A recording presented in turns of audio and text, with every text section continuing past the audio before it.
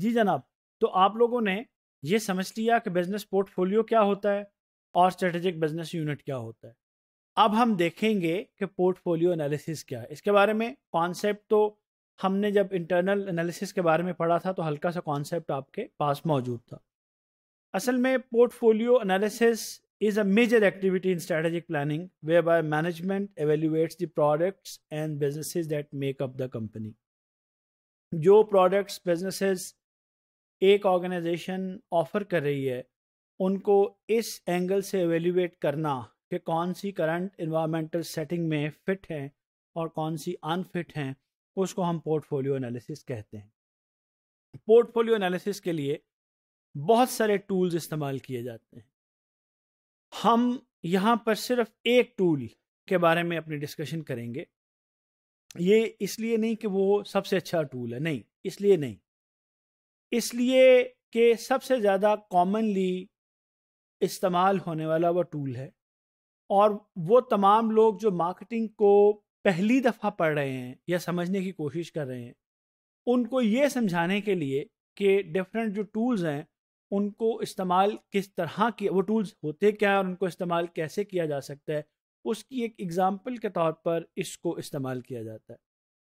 आम तौर पे वो टूल्स जो पोर्टफोलियो एनालिसिस के लिए इस्तेमाल होते हैं, उनको मैट्रिक्स अप्रोचेस का नाम दिया जाता है। और उसमें बहुत सारे मैट्रिक्स हैं, लेकिन आम तौर पे दो बहुत पॉपुलर हैं।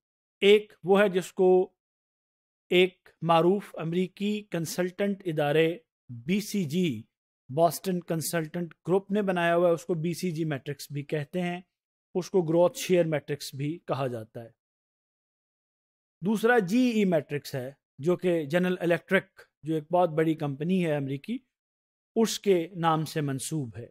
हम यहाँ अपने कोर्स में सिर्फ़ बीसीजी मैट्रिक्स का मुताल करेंगे और अगर आप चाहें तो आप अपने इंटरेस्ट के मुताबिक, अपने टेस्ट के मुताबिक जो बाकी टूल्स या मैट्रिक्स अप्रोचेस हैं उनको सर्च करके और उनको समझ भी सकते हैं और उनका इस्तेमाल भी देख सकते हैं। तो आइए हम बी सी जी मैट्रिक्स का मुताल करते हैं। As one portfolio analysis tool तो देखिए जो आपके सामने स्क्रीन पे B C G matrix appear हो रहा है, इसको हम टू बाय टू का मैट्रिक्स आमतौर पे कहते हैं या कहेंगे। टू बाय टू का मैट्रिक्स या टू बाय टू का मैट्रिक्स अप्रोच इसको कहा जाता है। वो इसलिए कहा जाता है कि इसमें दो डायमेंशंस इस्तेमाल की जा रही हैं। और हर जो दोनों डायमेंशंस हैं वहाँ पर हम दो दो स्केल इस्तेमाल कर रहे हैं। अगर आप देखें तो लेफ़्ट साइड पर, मेरे लेफ़्ट साइड पर, अगर आप गौर करें तो आपको एक डायमेंशन मार्केट ग्रोथ रेट के नाम से नज़र आ रही है। और अगर आप हॉरिजॉन्टल एक्सिस पे नीचे देखें तो आपको दूसरी डायमेंशन रिलेटिव मार्केट शेयर नज़र आ रही है। असल में सिंपली अगर देखा जाए तो किसी प्रोडक्ट या किसी बिज़नेस की परफॉर्मेंस के ये दो एंगल होते हैं, दो डायमेंशंस होती हैं। एक ये कि वो करंटली कैसा परफॉर्म कर रहा है और दूसरा ये कि मुस्तकबिल में उसकी परफॉर्मेंस के इम्कान क्या हैं। जो उसकी करंट परफॉर्मेंस है, वो हम गेज करते हैं फ्रॉम रिलेटिव मार्केट शेयर यानी इस वक्त उस प्रोडक्ट कैटेगरी यानी अगर आप किसी थाउज़ेंड सीसी कार के लिए पीसीजी एनालिसिस कर रहे हैं तो देखेंगे कि हज़ार सीसी के अंदर करंट मार्केट में उसका शेयर कितना है। Ten percent of total market है ट्वेंटी परसेंट है थर्टी परसेंट है फोर्टी परसेंट है, क्या शेयर है उसका? और दूसरी डायमेंशन मार्केट ग्रोथ रेट कि आने वाले दिनों में, यानी ये जो मार्केट है, जिसमें आप करंटली परफॉर्म कर रहे हैं, आने वाले दिनों में फ्यूचर में इसकी डिमांड क्या ग्रो करेगी या कम होगी? जिस तरह मैं आपको कहता हूँ कि आप क्या समझते हैं? विंडोज़ फ़ोन की डिमांड आने वाले दिनों में बढ़ेगी या एंड्रॉयड की डिमांड स्मार्टफ़ोन की डिमांड बढ़ेगी? तो आप कहेंगे, जी स्मार्टफ़ोन की डिमांड बढ़ेगी। विंडोज़ की वो तो डिमांड कम होगी। तो इन दो डायमेंशंस को बुनियाद बनाते हैं और इसमें दो स्केल इस्तेमाल किए जा रहे हैं। मार्केट ग्रोथ रेट में देखेंगे लो है या हाई है। इस तरह से रिलेटिव मार्केट शेयर में देखेंगे कि प्रोडक्ट का शेयर हाई है या लो है। अब आप ये देखें कि यहाँ पर चार कॉम्बिनेशन हमारे सामने बन रहे हैं।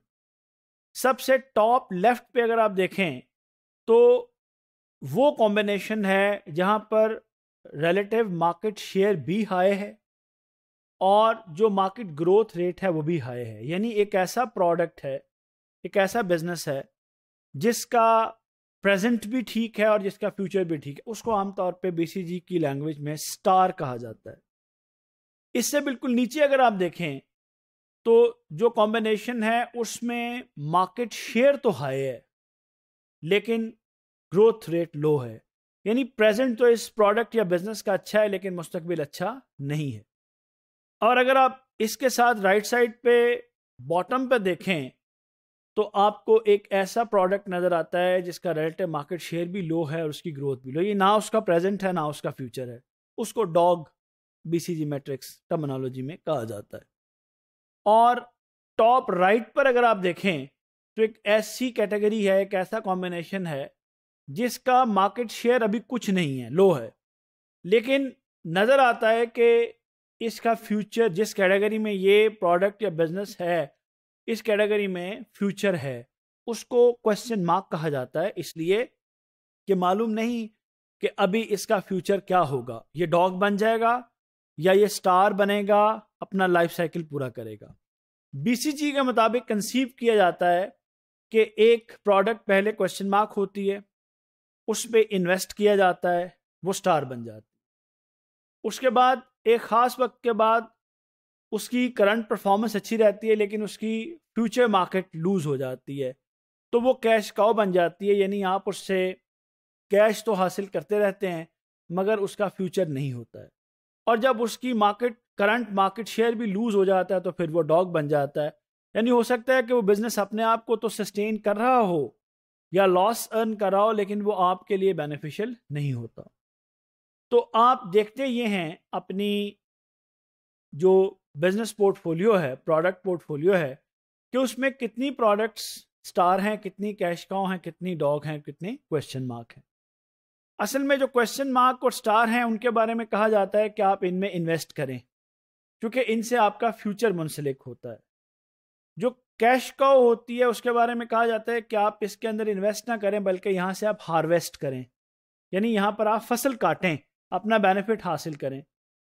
और डॉग के बारे में कहते हैं कि इस पर इन्वेस्ट तो बिल्कुल नहीं करेंगे हार्वेस्ट कुछ कर नहीं सकते तो आप इससे डाइवेस्ट करें, यानी इससे अपनी इन्वेस्टमेंट को विड्रॉ कर लें। तो आपको एक चीज़ ये देखनी होती है कि जो आपका पोर्टफोलियो है वो बैलेंस्ड होना चाहिए। बैलेंस इस तरह से कि आपके पास स्टार भी होने चाहिए, कैश काउस भी होने चाहिए और क्वेश्चन मार्क भी होने चाहिए और ऑफ़ कोर्स कुछ डॉग्स भी होंगे। ताकि ये अगर आपके पास सारे ही कैश काउ हों तो इसका मतलब है आपका प्रेजेंट है लेकिन कोई फ्यूचर नहीं है। क्योंकि क्वेश्चन मार्क और स्टार आपके फ्यूचरिस्टिक आइटम्स होती हैं, कैश का प्रेजेंट होता है और डॉग आपका पास्ट होता है।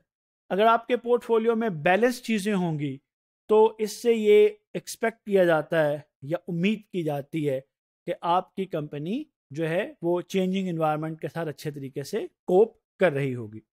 मुझे ये उम्मीद है कि आप लोगों को पोर्टफोलियो एनालिसिस टेक्निक जो कि हमने बीसीजी इस्तेमाल की है, वो क्लियर हुई होगी। मैं आपको ये मशवरा दूँगा कि आप प्रैक्टिस के लिए किसी एक कंपनी का इंतखब करें, कोई कंपनी जो आपको पसंद हो, और उसकी प्रोडक्ट्स के लिए बीसीजी मैट्रिक्स का एनालिसिस करें। जब आप उसकी प्रोडक्ट्स के लिए बीसीजी मैट्रिक्स का एनालिसिस करेंगे तो उससे आपकी एक तो प्रैक्टिस भी होगी, और आपको खुद भी थोड़ा सा अंदाज़ा होगा कि ये पोर्टफोलियो एनालिसिस कितनी मुफीद चीज़ है। हाँ एक बात आपको याद रखनी है कि ये जो बीसीजी टेक्निक है इसको अप्लाई करना मुश्किल भी होता है। क्योंकि बाज़ात आपके लिए ये एसरटेन करना एसरटेन करना कि करंट मार्केट शेयर क्या है या ग्रोथ रेट क्या है, ये ज़रा मुश्किल होता है। अगर आप इस इंफॉर्मेशन को प्रपोर्शनेटली या आपके लिए अप्रॉक्सीमेटली भी हासिल कर लें तो ये टूल आपके लिए बहुत मुफीद हो सकता है। मुझे उम्मीद है कि आपको B C G matrix approach as a portfolio analysis technique समझ आया होगा। Thank you very much